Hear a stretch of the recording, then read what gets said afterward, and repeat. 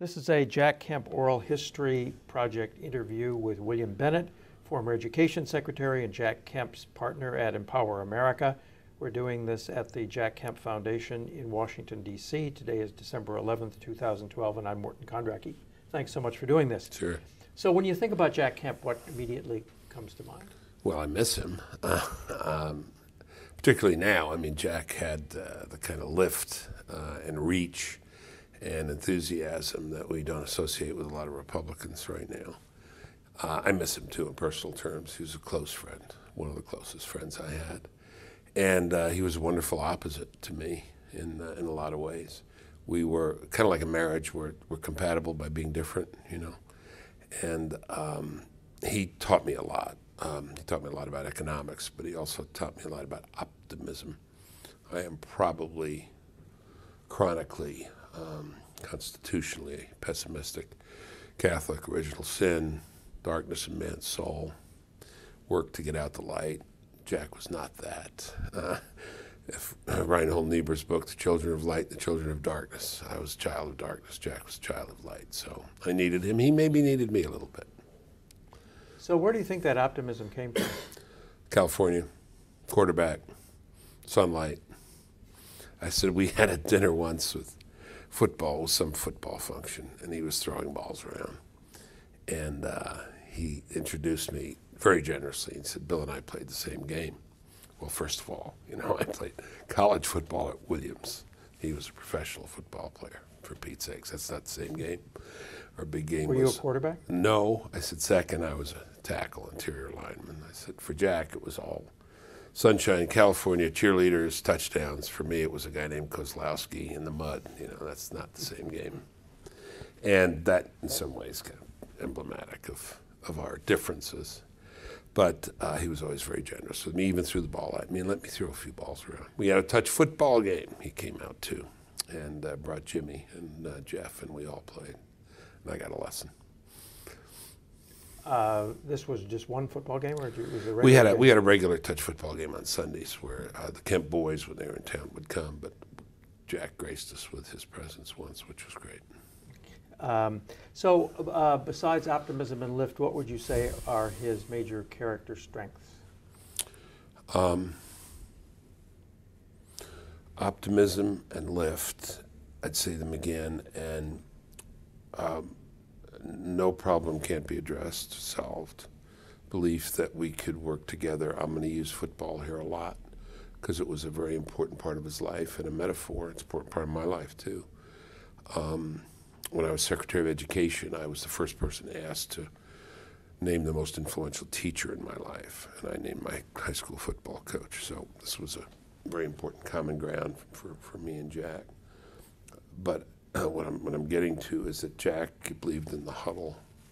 If you all got together, we could work it out, and you could score, you could win, you could solve the problem.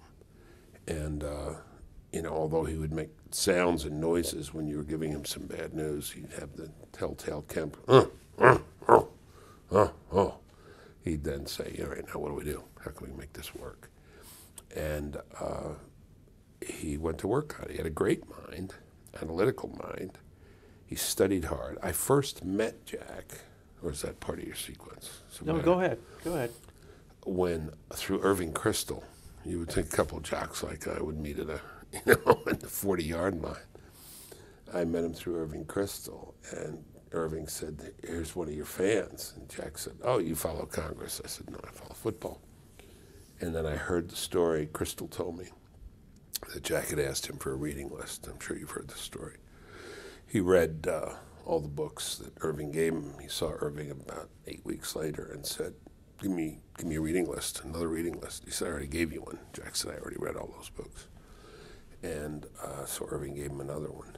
Um, he was a good student, a very good student. He would say he was a late student. You know, he came to it late, but all the passion uh, and conviction of the autodidact.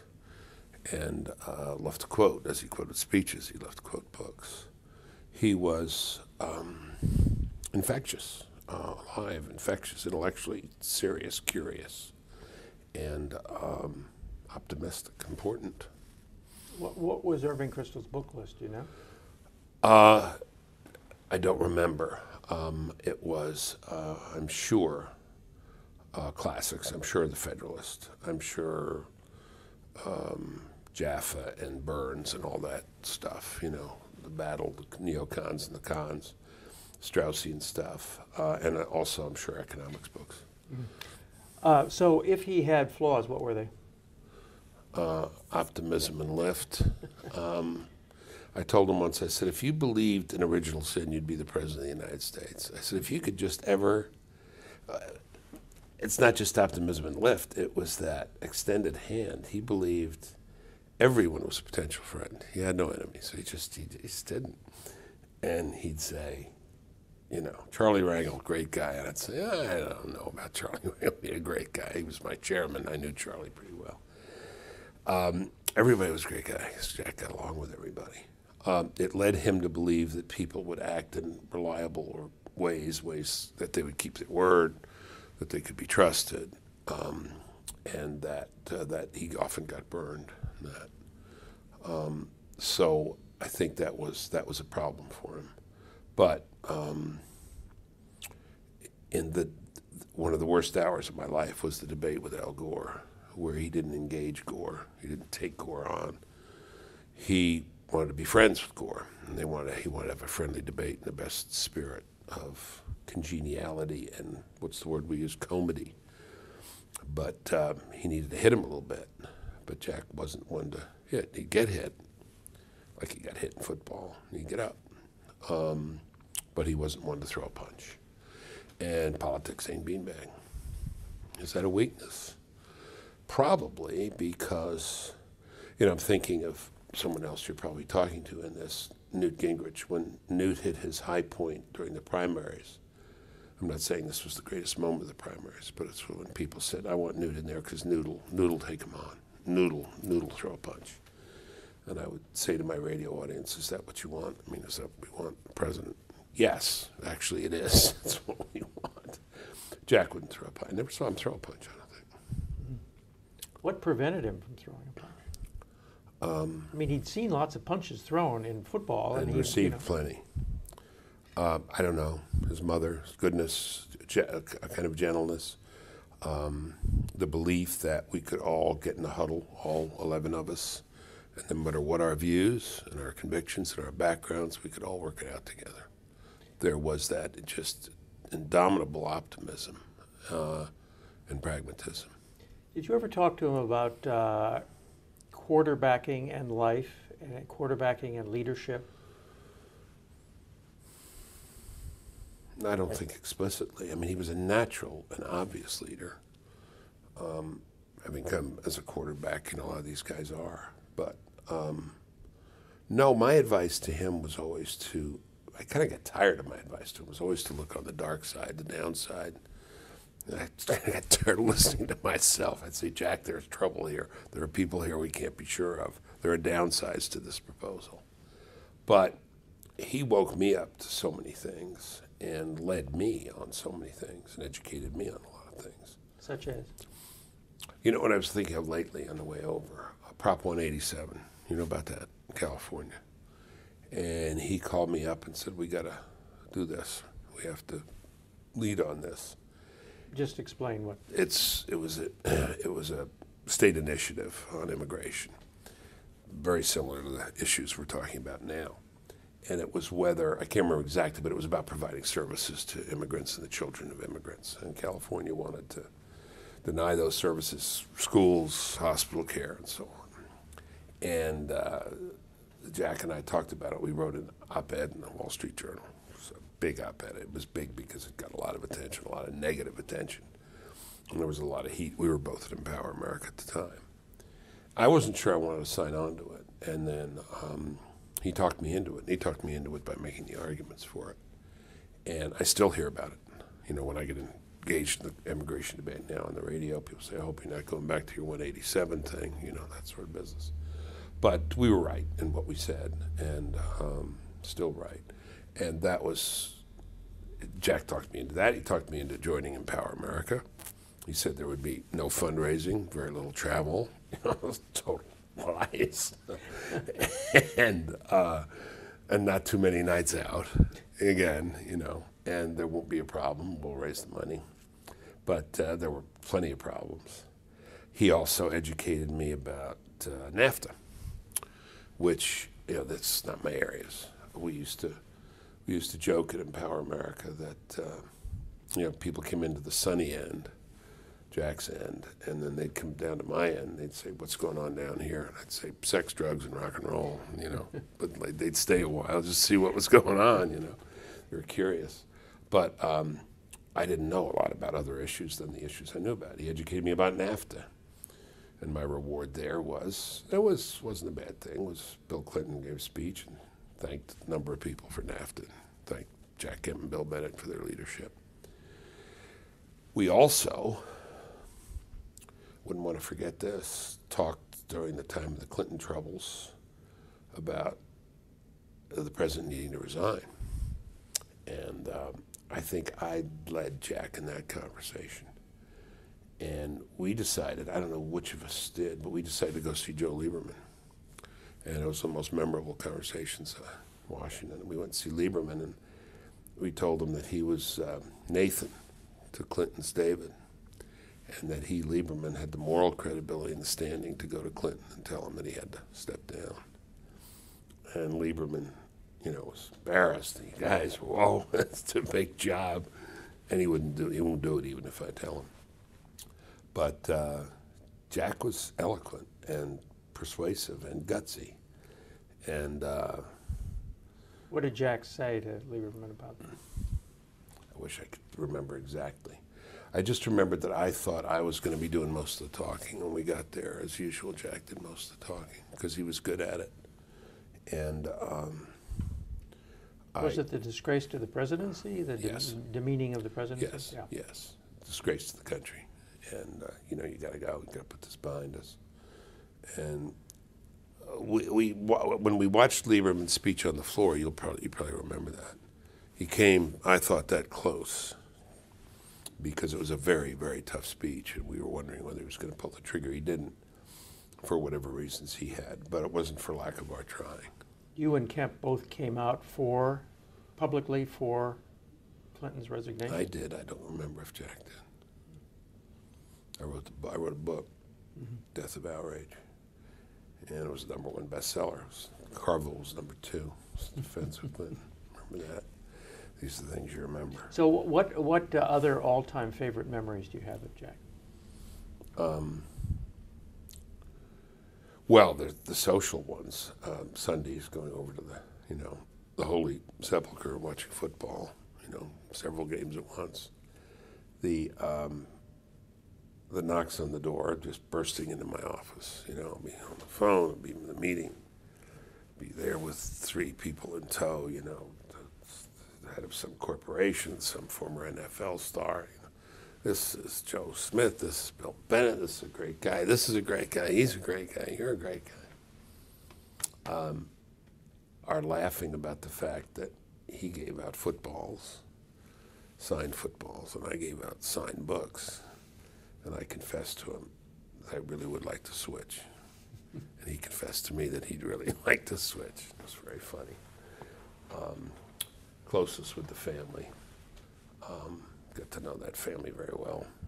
And, and Jack, mine, and for all the sporting events, Jack uh, went to as a father and grandfather. He ended up going to sporting events of my kids. That was a big, uh, was a big deal, and it wasn't even a football game. It was a national championship high school lacrosse game. Um, so that was a very At least it wasn't soccer, right? no, it wasn't soccer. That's correct. That's correct. Shared that. Um, the other things I remember were, were just so many meetings of intermediaries. People coming to me saying, "You got to talk to Jack," you know, Jeane Kirkpatrick, or can you talk Jack into this, or Vin Weber? Now, poor Vin. Vin is the guy who was always the intermediary always the guy who had to give Jack the bad news or explain to Jack you couldn't do this. But he was well practiced because he had to do this for Newt Gingrich for several years, right?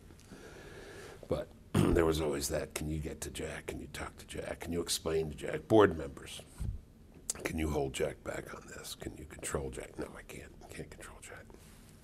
What, what kind of trouble did Jack get into? Uh, overreaching, overpromising. Um, sure, we can do that. Empower America can do this, that, and everything else. Uh, I can't remember specifics. We were supposed to have a pretty narrow charter, and we were going to do this kind of stuff with Jeane Kirkpatrick and school choice with Bill Bennett and Jack, you know, enterprise zones. and then it was just the latest enthusiasm, you know. Person who walked through the door, Jack would entertain it because he had that capacity to enjoy an idea in its in its presentation as much as the person presenting enjoyed that idea. It's a great it's a great empathetic gift. So when did you first become aware of him? Football. Um, game against the Jets. Uh, the Jets won and won the Super Bowl. Uh, New York, I think the game was in New York. Um, no, I was Well, he played in Buffalo. yes, but this was a this was a championship game, playoff game in I think in, in Jets Stadium in New York. The Jets were at home because I think they had a better record. Check the record on that, but um, You- I mean, were I there Watched him. No, game? no, no. But I watched. I mean, I watched him, and I was an A, I was an AFL fan. I was an original American Football League fan, so I knew all those guys. I thought those guys were being very badly treated, and should have been allowed, you know, equality. Um, but the powers that be in the NFL wouldn't let them. So when I met Why, Jack, why, why is that? uh, well, it was you know it was Rozelle, it was the monopoly, it was not letting these guys in. These were upstarts, not sharing the wealth. So when I met Jack, I remember he was impressed that I knew the names of all these guys, all these obscure guys, Buffalo Bills football players, and um, you know, uh, gradually they all made their way through the Empower America offices, and you know we had a big poster up in our. Um, in our kids' room with uh, Buffalo. My kids were Buffalo Bills fans, and it had Jack Kemp and O.J. Simpson. And then we took the poster down later. But uh, anyway, so no, that's how I first knew him. Didn't know anything about the congressional And so stuff. what did you think about him when you just knew him as a football player? Uh, great. I mean, he held records. I mean, um, you know, he used to kind of do the light touch on his football career. But, you know, he held a record for rushing touchdowns for a quarterback till, um, what's his name, from the 49ers? Montana. No, uh, the Mormon, um, Steve Young, broke it. Uh, Jack will tell you he owed the rushing, owned the rushing title because uh, he didn't have any protections. so he had to scramble and run. But uh, no, no, I was impressed. He was a big time, big time ball player, great quarterback. Um, Sorry, I'm- When- just, when- when he I've been, was, uh, I've been so- up too long, so I'm, That's okay. So, uh, so politically, I mean, he runs for Congress. He gets involved in, you know, Kemp Roth and stuff like that. You were a Democrat, yeah. right? What Uh, year's Kemp Roth? Kemp Roth is he introduced it first in '76, and then of course it became the basis of Reaganomics in in '81. Right. Um, so, did you follow his? Yes, I was here. I was aware of it. I was, uh, you know, a Reagan appointee. I was chairman of the National Endowment for the Humanities, so I was paying only tangential attention to it. I was, you know, in my own little academic thing there. But um, yes, I mean, I was aware of Jack Kemp and the significance of that. So, uh, how how did Irving Kristol bring you together? That was before that. That was, I think, late 70s when Kristol introduced us in New York. Um, but then Jack and I were in the cabinet together, or sort of. If you count me being in the cabinet, was is the drug czar cabinet. This is appointment Bush. Yes. Uh-huh. And we um, got in a lot of trouble because we were the bad boys in the cabinet. And you know about Jack's fight with James Baker and all that. Well, Jack and I tell us about that. well, I don't know the details of it, but I know they had a lot of bad words between them. And I had big disagreements with Baker, too, on policy. But Jack and I, What were your disagreements with Baker? You were a drug czar then. I got to be sure this is fine. I think it is. I think yeah, it's in my book. Um, we ha- I had some plans for things I wanted to do in Colombia, and I had most of the su- cabinet support. I had the vice president's support, but I had to persuade the president, and um, Baker stood in my way. It was we we could in one night take out all the process cocaine processing plants in Colombia. Only about 17 of them at the time, if my memory is right. And uh, Colombian government was in favor of it. And we could do it with helicopters and our guys. And um, it could be one night's work, and it would stop essentially the flow of cocaine for maybe nine months, 12 months, assuming they could then go back and build them up again. And I wanted to get this plan through. I got it through at the sub cabinet level with, you know, smart people like Frank Keating and others, people who knew a lot. And then Baker and Nick Brady blocked it, and they had Bush's ear, of course. it was war? Huh? Because it was war? Yeah, they're worried about war, Vietnam, stuff like that. I said, hey, they want us to come. Well, so the South Vietnamese, we're not troops. This one night, we're out of there. Lots of arguments. Um, but they were different from Jack's arguments. Um, but we would often plot before a cabinet meeting how we would do a one-two. And there was one we did with the taxes when Bush was going to go raise the taxes, and Jack was crazy. I mean, just you know. I said, "Well, I don't know the arguments. You just," he said, "Well, you just follow my lead," and it was kind of comical What happened? because we're at the at the cabinet meeting, and um, Jack is over. Let's see. Here's the table. The president's here, and Jack is over here, and I Cross? Yeah, across. It's the president's left, and I'm over here. The president's right. The other side of the table, the president's side. And Jack is talking, and we had rehearsed this, and he's making his case, and the president's nodding, and then Jack just keeps going, goes too long, goes too long, and I start going. Jack goes not picking up. I'm sorry. and Jack goes, and the president turns up. you know, it's really ridiculous. You know, Bill, fine, sir. So did you ever intervene? I said, yeah, I had like three sentences. Uh, I remember, I remember what I said 'cause it was the same thing I said when uh, they asked me to be RNC chairman. Uh, I said, I said this wasn't a campaign promise. This was your campaign. This was the heart of it. And this is uh, not a matter of just policy. This is a matter of a commitment. And but yeah, Jack went on, had a lot more to say, and of course argued argued policy, and we lost. But there was then a cartoon. I don't know if you've seen it. I think it was Business Week, and it had Bush leading a symphony, and everybody was there in their tuxedos, and over on the side, there's a guy playing the piano with a cigar, and another guy blowing a saxophone. That Bennett and Kemp, you know, we had our own music, um, which I think was a little overdone, but we would speak out, I'd say more often than others, on um, things and make our views known very loudly. Like Jack and I on the David Duke thing, you know, the president wanted to take a neutral position, so you can't. This David Duke was running for for, Senate. the, in, Senate, wasn't in it? Or governor? Louisiana. Senator, You- governor. He was a Ku, Ku Klux Klansman. Well, yeah, sympathetic to it, but he was a Republican, so you know, don't speak ill. I said, you just gotta, Mr. President, you just gotta. Jack called the president on that, and I saw the president. We were doing some drug thing, and I said, you just gotta, you just gotta speak out on this. Can't have any ambiguity about this. And um, Did so that Jack was bring that up thing. in a cabinet meeting? I don't remember, but I know he brought it up. Felt very strong. That was the sort of thing, things that hit our buttons, you know. So did you become close when you were both Bush cabinet members or before that? Um, I guess that's when we became close. Yeah, and then uh, one of the reasons we were close is kind of the adoption of Elaine Bennett by, by Joanne. Joanne had been here longer and invited Elaine to her Friday group, you know, about Friday group. Big deal. Huge, huge effect on Elaine. And Elaine wasn't sure, you know, When was that? I think early 80s. I don't know how long it's been going. It's been going a long time.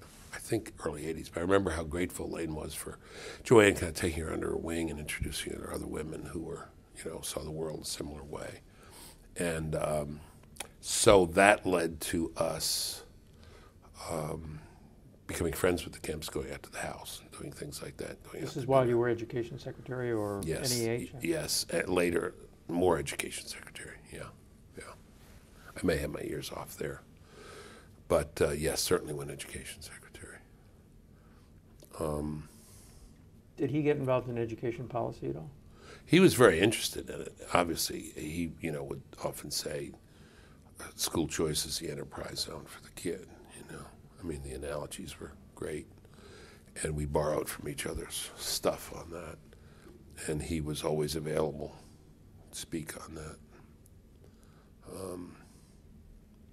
So, um, uh, more about uh, the, the uh, dynamics of the Bush administration. So, he supposedly intervened a lot in cabinet meetings on issues that had nothing to do with HUD. Right. Um, do you remember any of those? I don't ever remember intervening on HUD. Uh, yeah, and he taught me that you could too. You know, he'd say, "Well, you got it. You have a great." He said, "What you said today was." I remember he said today was really smart. He said, "You said it's a very bad lesson for our children." You know, he said, "You can say that about anything. You, What's a bad lesson? Not to help the, the Contras. Okay?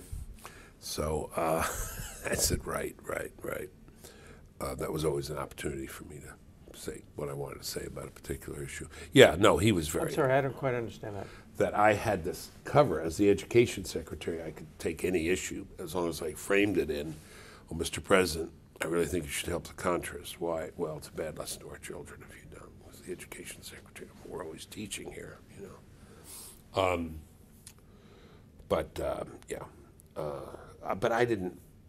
I didn't do it as much as he did because, well, another word, uh, Jack, you've heard before, irrepressible. He was a bit like you know the kid who thoughts in the head that comes out, and he didn't Do always. you remember any specific interventions besides the ones you mentioned? No, I could probably think of some. I could probably think of some. But they were, it was rare that there was a cabinet meeting that Jack didn't speak. Did he get dressed down ever?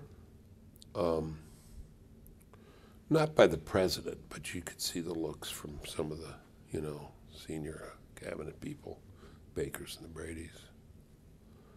Um, yeah, He must have been into Brady's business a lot, sure. Treasury Secretary. Sure, sure he was. And, you know, he was into foreign policy. And um, he educated me there a lot. Were you there uh, when, uh, when Baker said something to the effect that, you know, the Jews didn't vote for us? No, I wasn't No. there. I may have been at the meeting, but it was ha- happened after a cabinet meeting, didn't it? Or just before? Well, I'm not sure. It was in, it wa I think it was in, it was in the White House. It was in the cabinet room, I think. And, but I think it was after cabinet meeting. That was the sharp exchange, yeah. yeah. No, I heard about it. And uh, supposedly Baker once said, uh, uh, you're not Treasury Secretary, you're not Commerce Secretary, you're Housing Secretary, you're not blankety blank Secretary of State, or something like that. Did you? I don't think I was there, but I remember hearing that. Mhm.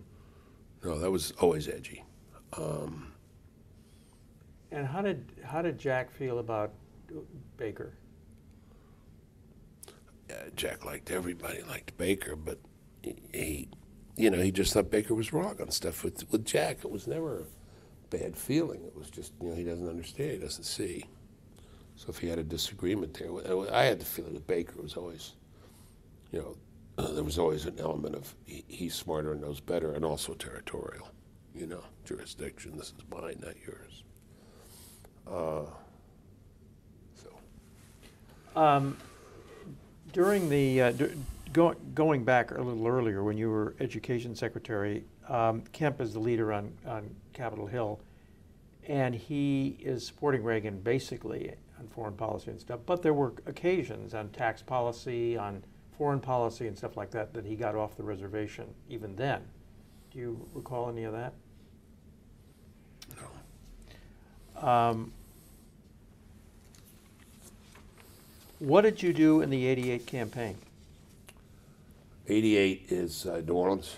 Yes, 88 is, uh, Kemp is running, Bush is running, um, Dole is running. Uh, I was for Kemp. And um, can't remember what I did, what events I did. I was for Kemp. and uh, thought he had a great debate with Bush. That was Houston? Yes, he did. That was a good one, right? I think so. I remember. But uh, yeah, we wanted Jack. We thought he'd be great. Be a good, great, charismatic leader, great president, and um, and then I. But I remember actually what I remember more was really working hard to get him on the ticket in New Orleans huh, before the announcement came. do? Just called a lot of people and um, everybody I could think of and lobbied. And I remember Elayne was working on it. I was working on it, and um, was very disappointed that he didn't get it. And we had a dinner that night. It was about two dozen people at Commander's Palace, maybe. And um, we were all waiting for Jack, and Jack came in late. And uh, it was, I think, the day Quayle was announced. We were all kind of deflated. But before Jack came to see us, he went into the kitchen. you know, talked to everybody in the kitchen. Man ahead of his time. And uh, shook hands with everybody. And um, then he joined us. But that was, a, that was a big disappointment. I thought, uh, I thought he'd be a great candidate. I was then asked to do one of the nominating speeches for Quayle, which I did. And then later with Dole Kemp, um, I was asked to give one of the nominating speeches for Kemp. Uh, do you know the Dole story with me? No. Uh, Dole wanted to do a speech in, This is what year? this was 96. 96. Dole wanted to give a speech. Somebody persuaded to give a speech on the culture. So he gave one at Fox Studios, and I wrote it, and a few other people worked on it, speechwriters Fox Studios, in LA. But we had an idea that before that, we should go to a movie. And the movie was Independence Day. You remember the movie? I remember it well. So we took Bob Dole to the movies. There was a little tension because it was Liddy's birthday, and she hoped they were going to have the day. But said, nope, we got to go to the movies. So I sat with the candidate, Dole, and Elizabeth in the movie theater, and it was over. Of course, huge. It was the summertime, summer '96. Huge crowd of journalists outside. Before we went out, Dole's campaign guy, who was it? Scott Reed, maybe, mm-hmm. said, "Secretary, before we go out, you know, you're the culture guy. what do we? What do you recommend the senator should say?" I said, it's great movie about America. I said, everybody's working together. We got a black guy, and we got a Jewish guy, and we got a whatever. Um, and, uh, you know, we all come together, work together, and, um, and defeat the common enemy. I said, got it, got it, Senator? Yeah, senator goes out. I said, what do you think of the movie? All says, black, white, Jew, America. You know, no conjunctives, no verbs, right? It's hilarious. Classic Bob Dole. So he says, "How about breakfast?" We had breakfast, and he said, "Who do you think I should? Uh, who do you think I should have my running mate?" And I said, "Oh, I've been thinking about names. Somebody said Don Nickles the other day, and somebody said, I said, I think you should have Kemp." He said, "Ah, I'm not going with Kemp. I'm not going with Kemp." I said, "Why?" He said, "Ah, his ideas. I don't agree with his ideas. You know, he's a great guy. I don't agree with his ideas." And um, I said, "What do you think of me?" He said, "What about what about you?" I said, "Me." He said, "Yeah, you." I said, "Why me?" He said, "Eastern, Catholic, intellectual." I said, "I remember." I said, "I'm so touched. I'm so moved. So personal." You know? Check, check, check. I said, "No, I'm not your guy." Um, I said, "I can't do it." And I came back and told Jack. And um, I said, "What do you think?" He said, "Oh man, you're crazy. You don't do it." I said, "No, no, really, I can't. I don't believe in it. And I don't, you know, it's not my cup of tea. I'm not that excited about it. I don't think I'm the right guy." And um, besides, I wrote the Book of Virtues, and I remember we had that conversation. So what's wrong with having written the Book of Virtues? I said, well, if you if you did everything I did in my life, and you ran for president or vice president, and you hadn't written the Book of Virtues, be fine. But if you'd done everything I did in my life and write the Book of Virtues, you got a problem because people think you're holding yourself out. So any any chink in the armor is going to look worse for the guy who seems to be preaching to the whole country. Huh? Jack said, I still think you'll do it. And then when Jack got the nod, remember I said, This is great. This is just great. He said, Well, he said, he should have gotten his first choice. Typical Jack. Um, that's that was a. How did you find out that he'd gotten the nomination? Or he I was at the office and I got a call from who? Somebody. Jack, Bill Dow called somebody, but it was you know the day of the announcement. It was a big deal. It was a big deal. Uh, by the way, I don't want to overstate it. I mean, I think Dole was asking about my interest. He wasn't offering it to me. I think he was fishing, but I wasn't. You know, I wasn't interested. Um, but it was typical, typical of Jack. Uh, going back to the cabinet days, um, uh, what, what were Jack's, what do you think Jack achieved as HUD secretary? raised the profile of the office, obviously, to a degree that's never been there before. Became a spokesman for um, enterprise zones and ownership, uh, and you know added a dimension to public policy and for the Republican Party that is you know a, a place that has not been taken by anybody else since, but which we of which we are now acutely aware after this election. Did you work together with him on uh, driving drug dealers out of public housing? Yeah. How did that go? How did, how did, how- what, Uh, we met with Cami, Chicago, the various people. I, I, I, I wasn't central to it, I'd say, but he would always invite me. Um, he'd go off to Cabrini Green or wherever he was going. he'd invite me, and I went on, on some visits, some trips. And then we compared notes, and we were very, we loved, loved doing that. I mean, it was great. And um, he encouraged me on my visits when I was Secretary of Education, went to schools. I don't remember this, went to 120 schools. And when I became drug czar, I decided to do the same thing. And Jack, it was Jack who said, "You need to go to public housing if you want to see the drug problem. You need to go to public housing." Why? I'll never forget. He said, "There are no men there. That's where these guys go. It's all women and children. So these guys can go and take advantage and just beat the crap out of people." And he said, "A good place for you to go. Good place for you to go. You care about this problem? That's where you should go." So that was part of my education, thanks to Jack. um, so he was frustrated in a lot of ways with the Bush administration. Did he share that with you? He was frustrating. He was frustrated. He was very frustrating. He was also frustrating. Yeah, oh yeah, he was. Um, yeah, well, I mean, the tax pledge was a big deal, and other things, other policy things. Uh, Jack just, um, you know, is the guy who always had the better idea, and often was a better idea about how to do it and how to present. And um, you know, he could be just brilliant, just dazzling. I, I give good speech. I give a good speech.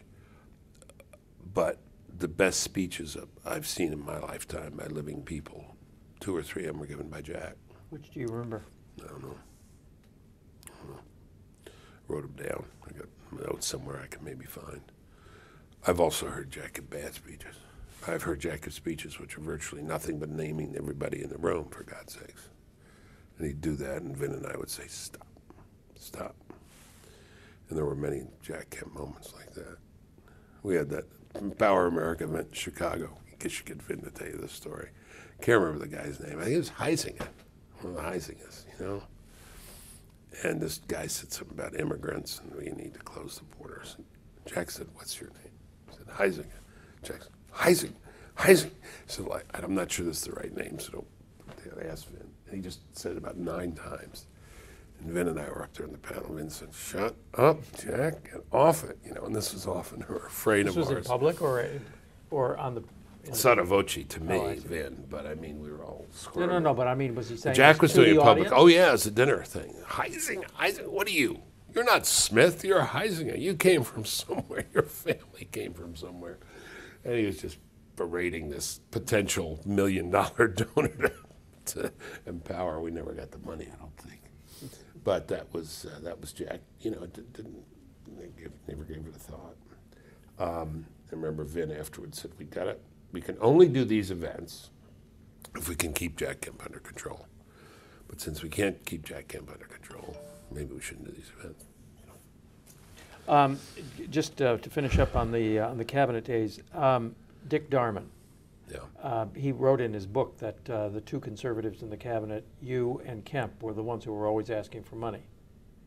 And, and um, so Jack seems to have had a lot of run-ins with, in fact, Darman banned the word empowerment from administration documents, which was a direct re- rebuttal to you guys, I, I think. So do you, did you, do you remember any of Jack's specific run-ins with Darman? I remember my run-ins with Darman, but I don't remember Jack's run-ins with Darman. But I'm not surprised, um, because Darman was architect and he wanted his way, and he had a very clear and, and concise view of what he should do. I was It was all about money? He the end of the day. directed- Yeah. It was the end of the day. It was, yeah, and um, yeah, I wanted more money for various things, but I thought, you know, I'm a conservative, but this, like, I regarded the drug effort in those days as kind of an adjunct to the Defense Department. This is a legitimate function of government, particularly the stuff we were doing in Latin America, which was having some great effect. So, no, I was locking horns with Darman all the time, and Jack and I would often sympathize with each other about what a tough-minded son of a bitch he was. His son now works at Carlyle Group. And my son was there this summer, and his son was saying, "My dad used to talk about his arguments with you, with your dad and Jack Kemp, and how much he enjoyed them. Didn't know he enjoyed them. Didn't know he enjoyed them. Good. Okay, Empower America. Um, How does it get hatched? Uh, Jack, I don't know. Jack called me up and asked if I wanted to be one of the principals. And he said, uh, Vin Weber's involved, and I'll get Jeane Kirkpatrick, and you do your thing, we'll do our thing. And um, this will be great. We'll be the counterweight to what's going on, and important things for us to do. Now, this is policy. when?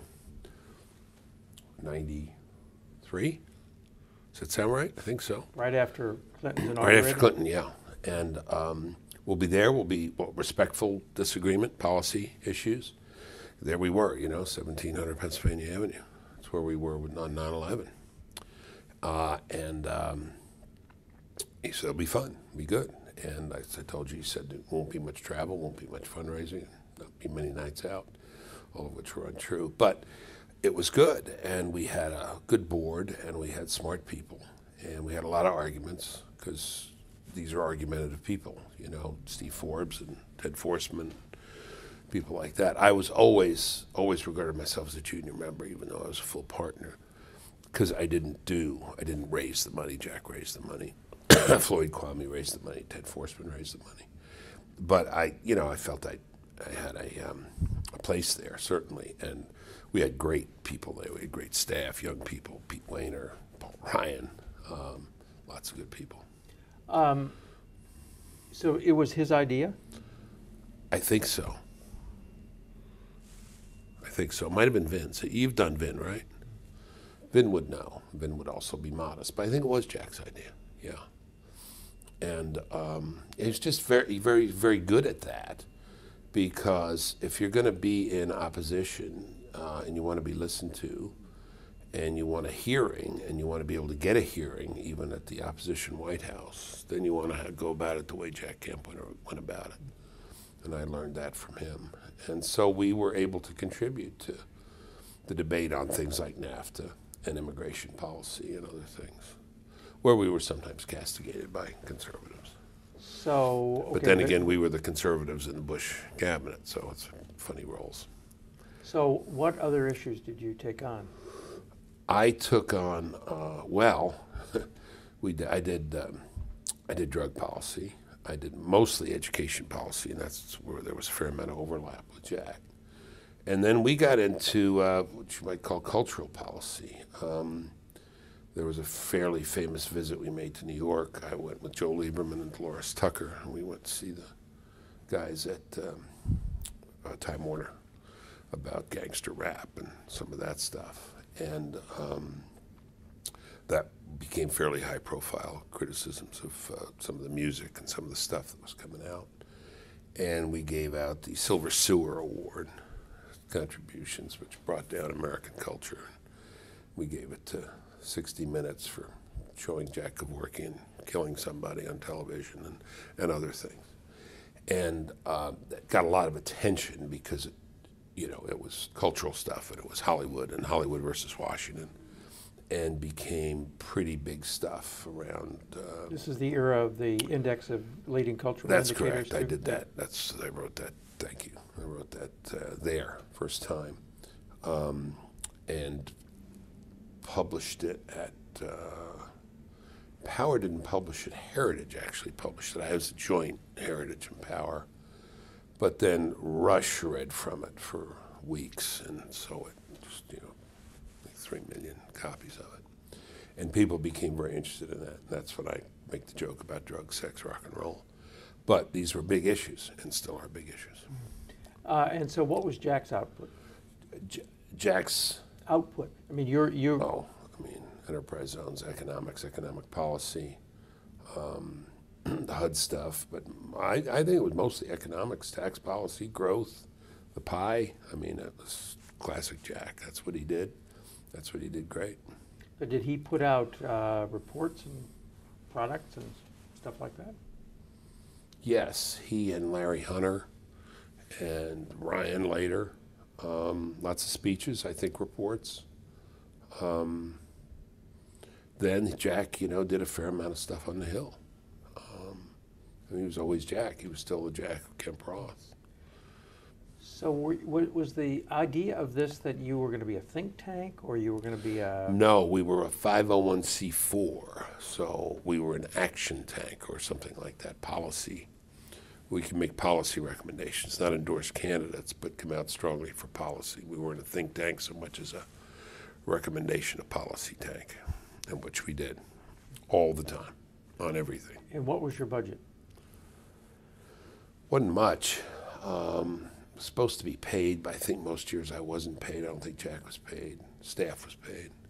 I don't think Vin took anything or Jeane took anything. Jeane shared time with AEI. I shared time Was with she ever there? Did she an Rarely, Yeah. rarely. But she was involved. She was she wasn't there during the days, but she came to evening events and functions and fundraisers, and she was present. Mm-hmm. And then you know we took fairly high profile on things like, um, oh, what's it called?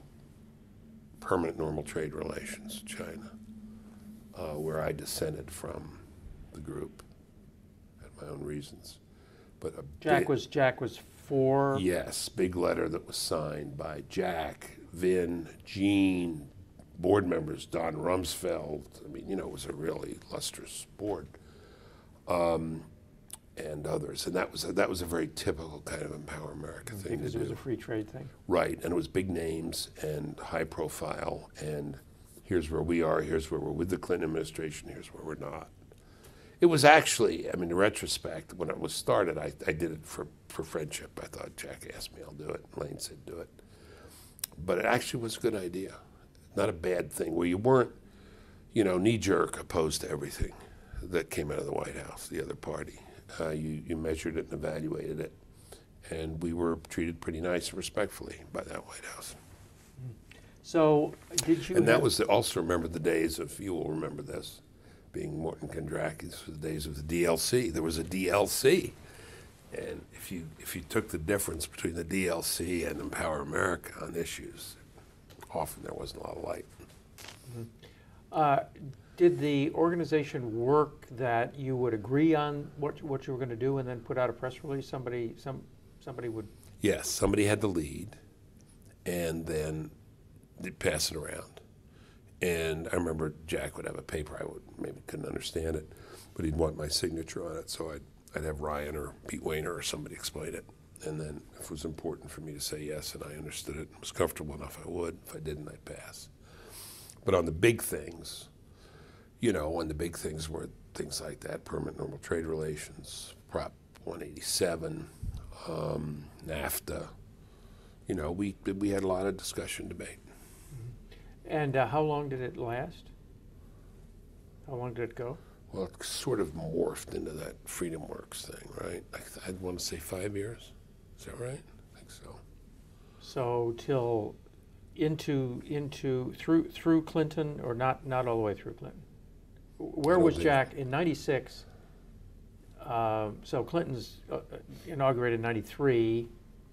Jack runs for vice president in ninety-six. Was he still with Amer- uh, Empower America after that? Yes, I think so. Yeah, I think so. You said that, that you were there in 9/11,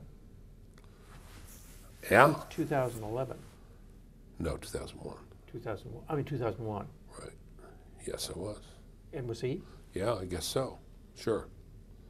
Sure. So sure it lasted. Were you were you actually in the office when the Uh, planes hit? I was in, uh, no, I was down the street. I was two blocks away doing a videotape on uh, something else. And then I came back to the office, and it was when, when the Pentagon was being hit. And uh, Jack just- was there. I don't think so. Just chaos. It was people. I remember getting to 1701 Pennsylvania Avenue and seeing the White House just emptying, you know. So it was, you know, late morning. And then there were rumors, you know, State Department's been bombed, everything's been bombed, Capitol's been bombed, people panicking. Yes, you're absolutely right. 2001. Yep. So I guess I was there until probably 2002 or three. I guess it lasted longer than that, eight years. Yeah. And Jack was there the whole way. But but it became a, you know it. Sometimes it was a more full time affiliation than other times. If we had the money, or if you had to go get your money by giving speeches, which I was doing, or being at Heritage, then you spent more time there, and you just dropped in once a week. I, I, I take it that, that you were sort of independent operators. You did. I mean, you you got you basically paid your your way by making speeches and writing your books, and Jack did his by making speeches, Washington Speakers Bureau or something That's like right. that. That's right. There wasn't much reason after Bush was elected for Empower America, because it was established to be a responsible voice of opposition. Do you remember any fights with Clinton? Well, um,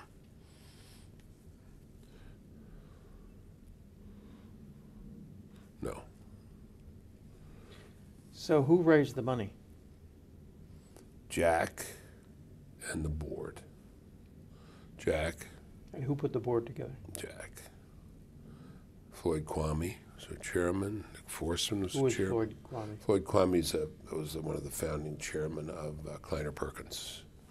And um, the famous partner is the Democrat, John Doerr, and Floyd is the Republican. He gave lots of money to Empower. Nick Forstmann gave a lot of money to Empower, and he and Jack were constantly arguing, fighting, Over. everything. Everything. I, I don't know, just, uh, he was, he's a guy Organizational things? or- organizational policy, everything. He just liked Forstmann just liked to argue, and um, he'd have these dinners in New York. We'd go up to where he'd have Julian Robertson and some of these other, you know, huge investor, venture fund. Uh, uh, what's the word I'm looking for? Yeah, Private equity. yeah, big guys, Hedge funds. hedge funds, right? Dinners, and you know, we would we would sing our song, try to get support. But they were Jack was always the lead. Because he wasn't a great fundraiser when he was trying to raise money for his own political campaign. No, Was he better at uh, yeah, Empower it's America? Yeah, it was better working for the, pay the staffs of other people. Yeah, it was pretty good. But the chairman, when they took the job, knew that that was that was a big part of their job. This is Vin. Or, the, or the the, chairman chairman, of the the, various chairmen, Forbes, Forstmann, Kvamme. And what was Vin's role? Um, Vin Weber's. peacekeeper, intermediary. I think I quit three or four times. And Vin talked me, you know, back off the ledge. Jack would call me. I don't know. I don't know why I quit. Some, well, some reason or other. But um, Jack was forever inviting people to be fellows and to be partners and to be on the board and to this and you, know, you can work with Bill Bennett. No, I don't want to work with him. But that was. You know.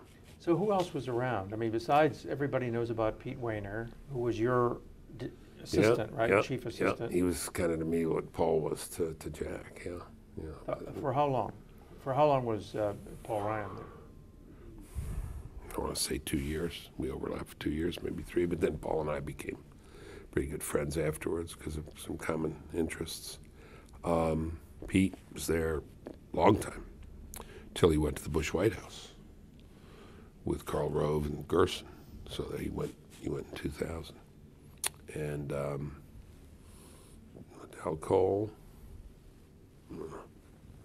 Someone else I know, David Kuo, who wrote that book about Bush and religion, which damned him for with, the, with conservatives forever. Um, who else was there? I can't remember. Um, so you, you were referring to the to the uh, people of light and the people of darkness. I mean, supposedly, you, your big debate with Jack intellectually was over poverty. What, what supposedly this is what I've heard.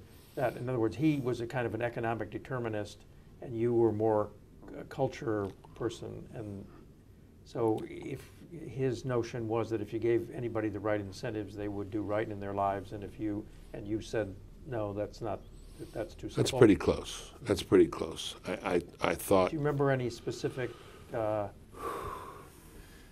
or was this on running, ongoing? It was ongoing. It was ongoing. I mean, Jack would say that um, ownership itself will transform. Um, and I said, it can't transform character. He said, well, a guy who's never had anything and then he gets something, he has a chance then. So he has, a, I'd say he has a chance, but if the right values haven't in some ways been inculcated in him, it could happen, but it's miraculous. And um, why can't we just agree that you give people opportunity, but you also need instruction, habits, Aristotle. And um, he'd say, fine, but you can't wait. You know, so I mean, this was the argument that went on and on with us. He, I thought he was a bit, and I used to say, I said, you're just a Marxist. You know, you're a Marxist and you know a, a good guy Marxist. You just think it's all about you know opportunity and enterprise and giving people a chance, and I'm for that. But if people have the chance but don't have the wherewithal to take full advantage of the chance, um, they're going to blow it, and um, they'll default on their loans. They'll, I wasn't that smart. They'll, uh, you know, they'll blow it. They'll wreck their property. Um, so that was the ongoing debate. Um, and Jack was prepared to concede that, but always wanted to say it was complicated, but that you could never find out what was in people unless you gave them that opportunity. Fair enough. Fair enough. Look, I said, school choice was a very good place for us to meet because if you're for school choice, you're more, it's in some ways, you're more Kempian than Bennettian, if I can say that. You're for everybody having it. And that means some people won't make the right choice. But um, And you can- and you agreed on yes, school choice? yes, Was he active on school choice? Yes, he was. I was certainly totally, fully supportive. Um, but um, he said, you know, by your by your thesis, people aren't smart enough to do the right thing. I remember I had the hearing when I was Secretary of Education with Gus Hawkins. Remember Augustus Hawkins, who was chairman of the committee? And I said, you know, the people in your LA district should have the opportunity to choose their schools. And he said, a lot of the people in my district aren't smart enough to make that choice. I said, well, they're smart enough to choose you. You know, it's, a funny moment. Jack, Jack loved that story, you know, and he said, well, see, that's your view, right? They're not smart enough. I said, no, they are. This is about their kids, and they will listen to other people who inform themselves and, and follow. But this is this is a choice you should give people, certainly better than the current position. But there isn't um, there isn't a re- there's no reason we can't try to educate people about what choices are the best choices to make too.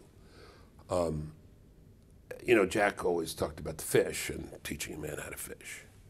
Give a man a fish, teach a man how to fish. I said, but teaching a guy how to fish is more than teaching him how to fish. It's te- teaching him to be patient and to tie things right and to sit in the boat all day and have perseverance and, you know, the, the virtues. And I think Jack was somewhat persuaded, but never fully. And I was never fully persuaded of the transformation that takes place just with opportunity. I said, I've seen too many people have the opportunity and blow it. So that was our ongoing So were debate. these, uh, were these bull sessions, or were these around specific issues? They were both. They were bull sessions. They were constant. They were during football games. They were, we were traveling together, and they were an, on panels, on policy debates, on any everything we did. Um, and Jack would talk and say, "I know Bill Bennett is going to jump me now," but here's what I believe. And I'd say, and I know Kemp is going to object here. But, but there, you know, we did the same thing publicly we did privately. Um, d- Did, um, uh, wh- what, what were his work habits like when he was there? Um, I don't know. I mean, um, multitasking. I remember being in Philadelphia with him at the convention, and we went out to dinner, and a phone started ringing, and he didn't know which. He had four of them, and he was, you know, the person, the whole person was ringing, you know. And he'd be carrying on a conversation. I marveled at that 'cause I can't do that. And people would come up and say, "Oh, you're gonna my friend Bill Bennett." Um, uh, I don't know. I don't know how he worked, but he worked. He was always working. I mean, I know I know he worked on planes, and he just have you know stacks of stuff, and he just go through it, make notes, longhand write notes. You know. Did you do any foreign travel together? Nope. Um, so, I did a lot of foreign travel. The drugs are a job, but not with Jack. You know, that's one- that was one difference in the jobs. so uh, tell me about the, y- y- you and Joanne and, uh, and Elayne and uh, Jack did, did stuff together. What did you do besides watch football? Uh, pretty much it. Uh, his house on Sunday, always his house. Um, sit around the pool. Um, and, um, well, Jack did bring a formative moment in my kids' development. Jeff played for the Eagles, and they played the Redskins here. And Jack, Jeff got off the bench and played in the game. He got sacked about 15 times. We watched the game on TV. Two hours later, doorbell rang, and it was Jack and Jeff at the door, and my boys, at perfect age, like 14 and 9. And there were uh, there was Jack Kemp and Jeff Kemp, we just saw on TV. And it was just very generous of him to do that. Typical, typical kind of thing. But it was his house, was his castle, and we were almost always there. If he came to our house, he was in and out fast. You know, he wanted to get to his house, his chair, his TV, his controls. Uh, did you go to Vail? Yes, yes, a couple times. And- We had Empower stuff there. We didn't go to ski. We're not skiers, but we went to Vail for Empower stuff because we did did the same show out there. Yeah. Um, okay. So, where in in conservatism, in the history of American conservatism, does Jack Kemp fit? Um, I, well, very much in the, I don't know quite how what you mean by question, but I think very much in the Reagan tradition, if we can say that's a tradition, the sunny brand of conservatism, optimistic, forward looking, which we've never been in more need than we are now. Never needed Jack Kemp than we do now in that spirit. Um, forward looking, what do you call us? What did he call us? Con- progressive conservatives? Is that what he called us? Something like that. Sometimes bleeding heart too. Bleeding heart conservatives, progressive conservative, progressive conservatism. Big government conservative. No, No, he didn't. Did he say that? no, he didn't say Not that. from But- me. But he, but he believed in a big HUD. Yeah, I did believe in big gun. I believed in a big Office of National Drug Control policy. Uh, but um, good-hearted, capacious, optimistic, uh, encouraging, enabling, empowering. That's where he is. So, uh, but in terms of, uh, you know, the, I guess, so this is, this is Reagan. It's not Goldwater, it's not Russell Kirk, it's Right. not, i- Right. was he a neoconservative, do you think? Sympathetic to neoconservatism, but And Irving. Kristol was one of his mentors. Oh, one of his godfathers, but not didn't have again didn't have that fundamental view of man's flawed nature. Um, you know, believed that. I mean, I just always said, Jack, you're just this short of utopianism, the kind of stuff the left does, which gets us in so much trouble. So no, no, no, no, no, never, never get there. Don't believe in that. Um, uh, right? Did you ever talk to him about Christian Science No, and the influence that that had? No. That's very positive. no. No. What, did it have an influence on him He was a Christian Scientist as a kid, yeah. as a kid? Didn't know And that. some people think that he never stopped Well, having. Yeah, well, maybe. So, so you regard, you regard him as an intellectual? Yes, first rate. Uh, not the normal s- s- type, but he could parse an idea fast. And he come in and said, "What is this? What does this mean?" And I, you know, explained it as best I could. He he was fast. Uh, once he got it, he wanted to move on to something else. Impatient, and you know, certain definitions of intellectual require a certain scholarly disposition or temperament, which he did not have. He had the temperament of an activist and a doer. But yes, I regard him as an intellectual, for sure. And Very uh, little he couldn't grasp, and except the fundamental nature of man. okay. And obviously, you think he was smart. Yeah, you bet. Uh, and so good and so generous, you know. Um, first uh, call I got when that gambling story hit on me was Jack, and uh, it was just it was a, just a call of friendship, and you know, come on out, we'll have dinner. And then uh, it was just very sweet, very Jack. So, what was your relationship with him post Empower America? Um, oh, we were still close friends, more the house and visits, and uh, saw him less frequently. But probably as much through Elayne and Joanne, because she still goes. She'll be going this Friday, the Friday group. And then um, some relationship with the kids. I mean, I developed, I think, a pretty good friendship with Jeff um, and went out there to speak for his group a couple times. Um, in some ways, Jeff's work was closer to my work, you know, about culture front, the values front. And then with Jimmy, similar. Some people describe Joanne as the ground of Jack's, yeah, that, that she grounded him. I think that's right. How, what, what does that mean? Um, Diogenes, you know, the philosopher who was looking for an honest man, they said he was always looking this way.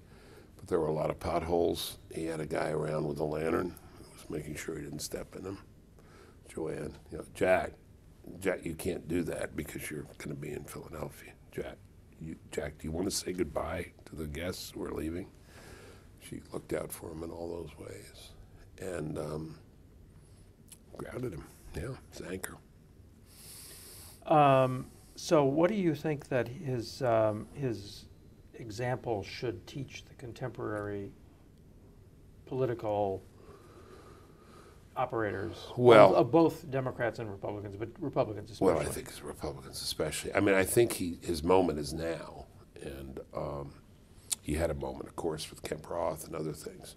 But I think his moment is now, and the party very much needs to rediscover Jack Kemp and the spirit of Jack Kemp. There have been things written about Paul that he's the natural heir to Jack. Paul Per- personality is very different, very different. But there are some certainly some similarities. There's a sunniness, there's an optimism there. Um, but uh, never has the party needed what Jack is and stood for more than it does now. But I think that um, even though you know it's hard to evaluate a person really through the present in terms of what they'll be in the future, I think that stature he will maintain that stature. Perhaps it'll be, you know, he will, he will be needed less. Perhaps I hope in the future because we have other people to step up. But I think he'll be regarded as one of the major conservative figures of the 20th century. Uh, one, one uh, since you fo- followed all the way through, what, what was his opinion of George W. Bush as president?